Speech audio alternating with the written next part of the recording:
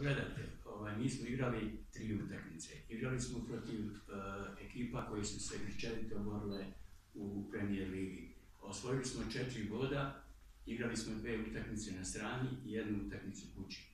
Mislim da možemo biti zadovoljni što se tiče bodova, a i što se igre tiče, ja mislim da možemo biti zadovoljni. Međutim, uh, sad nam dolazi u goste ekipa radnika, jedna izuzetno kvalitetna ekipa koja igra polufinale Kupa Bosne i Hercegovine, koja je visoko plasirana na tabeli i koja teoretski čak može da bude i prva. E, radi se o jednoj ekipi koja e, svoje uspjehe radi na kolektivnoj igri i tako čita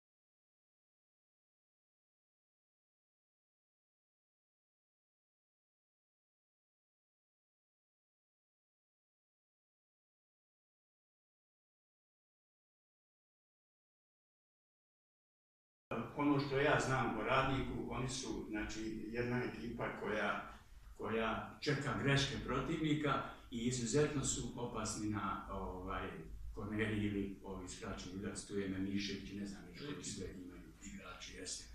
Ali mislim da mi imamo pojedince koji mogu da, da reše utakmicu. Prema sudno mislim na, na, na ove navalne igrače koji će i, ovaj, izaći na teren i mislim da će oni moći da, da ovaj, reši utakmicu. Biće teško. Jer, jer radnik apsolutno ne prima golove. Ja mislim da su oni svjetski rekorderi. On daju 19 golova, golova imaju 60 bodova. 13 utakmica nisu primili gol. I na strani su... 21 meč 13 puta nisu primili gol. I na strani su izgubili samo protiv Slovenije.